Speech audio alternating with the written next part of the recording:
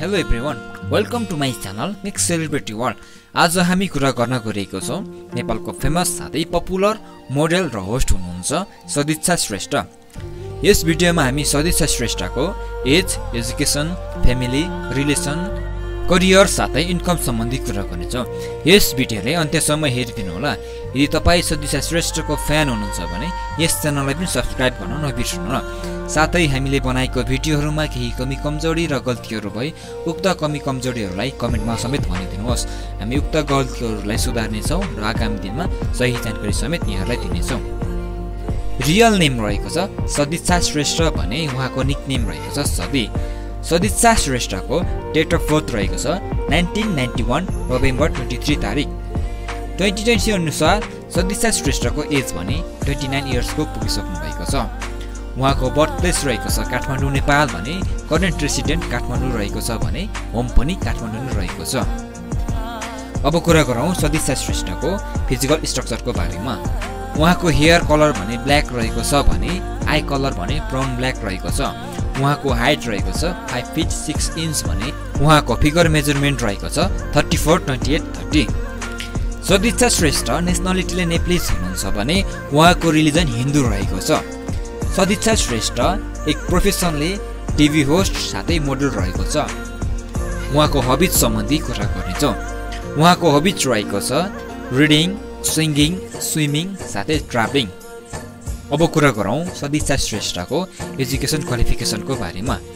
सदिच्छा श्रेष्ठको education qualification रहेको छ मास्टर्स इन बिजनेस एडमिनिस्ट्रेसन भने उहाँले आफ्नो पढाइ school N K Singh memorial EPS secondary school बानेश्वरबाट गर्नुभएको थियो भने कलेज सेन्ट जेबर कलेज काठमाडौँबाट गर्नुभएको थियो।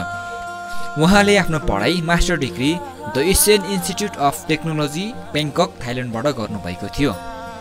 अब कुरा गरौँ सदिच्छा श्रेष्ठको रिलेसनसिप साथै बोयफ्रेन्डको बारेमा। सदिच्छा श्रेष्ठको अफेयर चाहिँ राहुल मुक्तानसँग रहेको छ।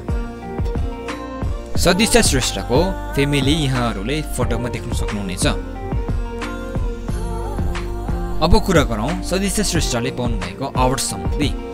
सदिच्छा श्रेष्ठले Miss Nepal world two thousand ten जित्नुभएको थियो भने B O W top ten college women competition पनि जित्नुभएको थियो। अब कुरा गरौँ सदिच्छा श्रेष्ठको करियर साथै स्ट्रगल सम्बन्धी। डान्सिङ विथ स्टारका चर्चित होस्ट सदिच्छा श्रेष्ठ हुन्। उहाँले आफ्नो career miss Nepal two thousand ten जितेर अघि बढ्नु भएको थियो।